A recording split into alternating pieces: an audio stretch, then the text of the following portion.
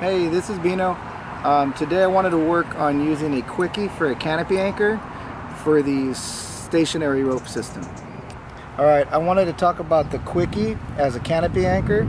Um, I understand it's it's safe to use on an SRS system.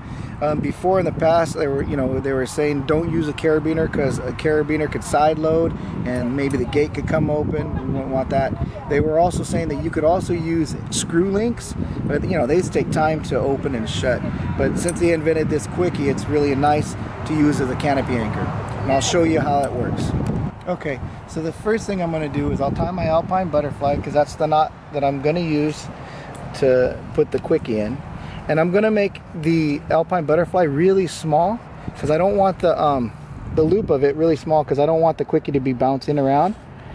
Okay, so what I'll end up doing is I'm to pull this to the top. So what I want to do is I want to put the quickie through and I'm to have the flat side of the slide pin up against the trunk.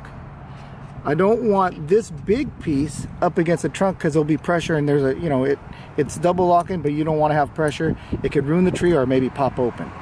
Okay, so now to bring it up to the top, you're going to pull the long end of the rope or the short end of the rope. And now I'm going to send it up.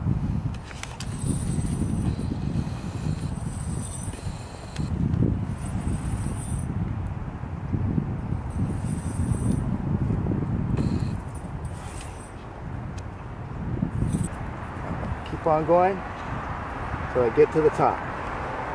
Now that I reach the top, I can see the slick pen is up against the trunk, so I'll be able to climb on this side of the line.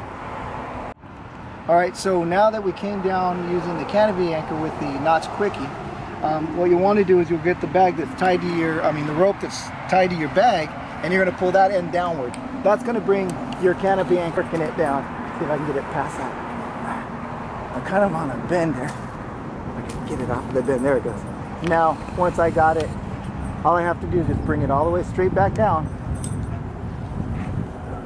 and back on to the ground. You know, this off. So it's kind of good. It's what's good about it is if you really needed to reconnect pretty quick, you can unconnect it and then reconnect when you're up in the canopy. Um, nice to have this. Okay, so we did a canopy anchor with a quickie and a butterfly knot. So with this system, you throw it up to the top of the tree, connect it from the ground, and you pull it all the way up.